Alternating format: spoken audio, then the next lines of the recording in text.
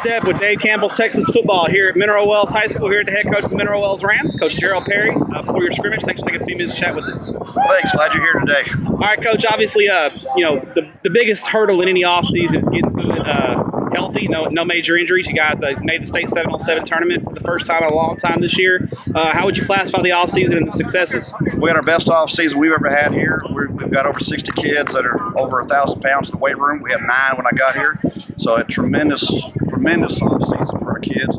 These kids are hungry to win and, uh, pay, pay, pay, the price to get here tonight. And uh, uh, a lot of kids playing. We have 150 kids in football here now, and they work hard and uh, ready to play.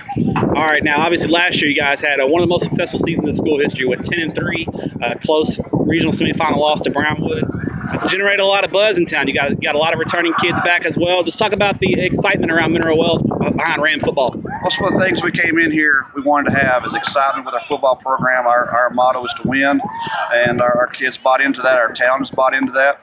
Uh, we had a great off season. We had a great season last year. Last year's over. Uh, the thing we learned in that Brownwood game with the sleet coming down, it's 28 degrees, is we're going to have more power in our offense. We've had a lot of power sets, so we'll be a lot more balanced this year uh, and, and, give you different looks. You'll see 20 to 30 different formations in the scrimmage tonight. All right, now, uh, so it's scrimmage, obviously the weather uh, turned out okay. It's, it's, definitely not as hot as it could be as long as the, the lightning stays away. Uh, obviously, Midlothian Heritage, nobody knows a lot about them. They're, they're a brand new program. Uh, what are you looking to get out of tonight's scrimmage? Uh, position battles or any, anything in particular you and your coaching staff are really going to look at? Well, a couple things. First of all, we want to stay healthy on our scrimmage. Uh, we want to keep working our tempos. We've, we changed some things this year, and, and we'll be a lot faster with our offense. Uh, defense, we've got we fly to the ball. And We want to make sure that that continues. We've got a lot of O linemen. We've got uh, I don't think we'll start a senior this year on the O line, so that's one of the things we're worried about a little bit.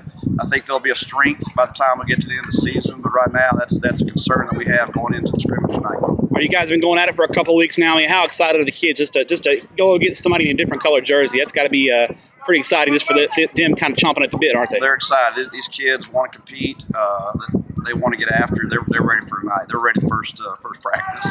Well, Coach, uh, real quick, uh, what's the format going to be? Kind of tell us what, what your for, overall format's going to be in the scrimmage today. We'll go 12 play series. Uh, we'll start with defense, then we'll go offense. Keep rotating through uh, through two series with the ones, two series with the twos, and then we'll go a live quarter uh, and we'll punt kick uh, during that live quarter.